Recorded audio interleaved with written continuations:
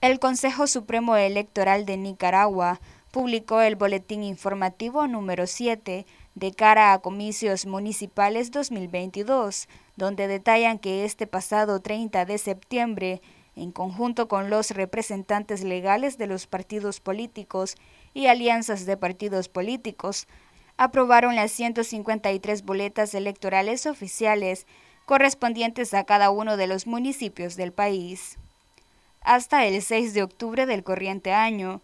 Es el periodo de presentación de ternas de las y los miembros para integrar las juntas receptoras de votos que deben ser entregadas por los partidos políticos y alianzas de partidos políticos participantes de los comicios municipales 2022.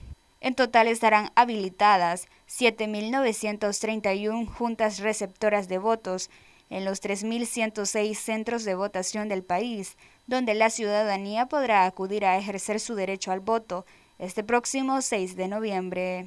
Del 3 al 7 de octubre, el Ministerio de Gobernación de Nicaragua ha convocado oficialmente a los ciudadanos y ciudadanas nicaragüenses que consideren inscribirse como policías electorales para los comicios municipales 2022.